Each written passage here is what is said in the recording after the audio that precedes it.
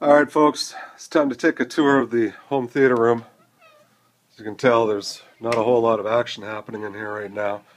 Sorry for my voice, I've had a fever of 102 for three days, been throwing up, so my entire Christmas has been spent in this room trying to get better.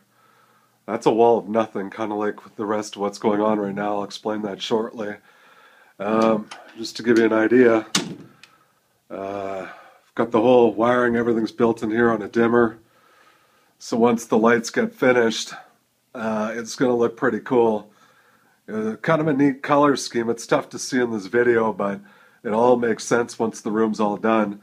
And the screen is, uh, that's what sells this room. It's pretty cool. It's hard to fit it all on, on one, uh, one video. That screen's 106 inches on the wall, uh, side to side. It's pretty huge.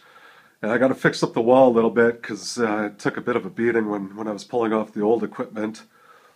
But the wiring in this place is insane. It took a couple hours and it cost, well, I don't even want to tell you how much it cost, but it's a ton of money. As you can tell, there's some wiring and some neat stuff going down here, some stuff hanging from the air too. Uh, yeah, everything's running off of HDMI 3D cables in the whole room. There's full 3D everywhere. Again, like I said, wiring and conduit everywhere. Uh, the power that's running in this room is absolutely amazing. Running 2600 watts right now. Just to give you a small view, uh, one of the subs.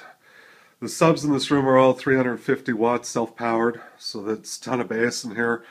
Uh, PlayStation 3, uh, wire, everything's wireless in the room now, 7.1 surround sound in the room, 7.1 surround sound and headphones everywhere, receivers, uh, Bell HD 3D uh, receivers, Apple TV.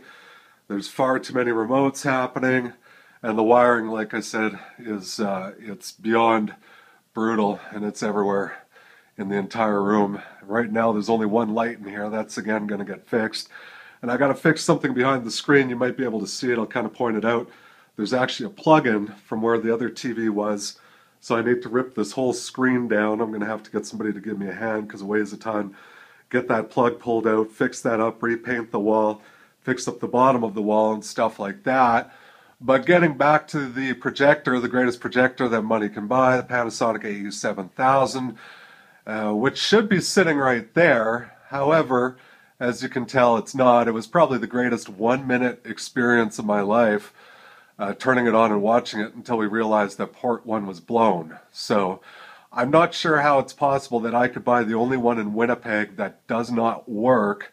Well, it worked for a minute and it looked awesome, but it doesn't work and it went back to get repaired. So I'm hopefully, hopefully in a week or two I should get that back, get it reinstalled. I'm about as impressed with that as you are. But there's more stuff going up on the wall soon, but there's just not enough time to wire it all in. But it's starting to look pretty cool in here, and this will look really good once the proper shelves are in and it's all covered up and stuff. But this just gives you an idea of kind of where things are at right now. I hope you dig it, and I'll post another video once I get this room done. These speakers are going to all be off the floor and hanging. Uh, and the ceiling will be done, and the lighting will be in, but it's going to look pretty cool. I gutted this whole thing over three days and built the whole room over three days. So I hope you dig it, and uh, we'll talk to you soon. I'm sad.